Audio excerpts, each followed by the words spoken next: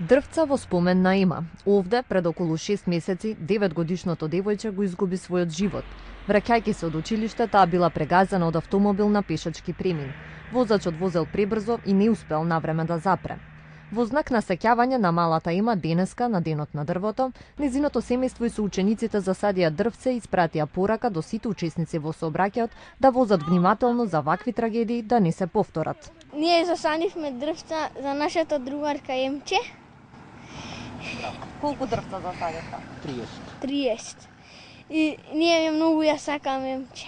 Треба се внимава со браќаот, треба се погнеле да се погледне лево или десно, за да видиш дали има е, автомобил или нема. Нова место, мојата керкичка животот го изгуби во Собаќајка на 8 мај 2015. И денеска, денот на дрвото засадија својата иднина, заедно со дечињата од основното училиште Димитар Македонски, пето А оделение, така беше дечиња, пето А, пето Б.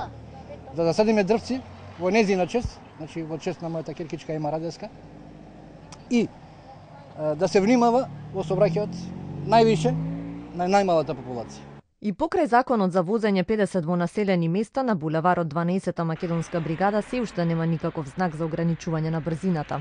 Автомобилите возат пребрзо, а во близина е основно училиште каде се којдневно улицата ја поминуваат деца.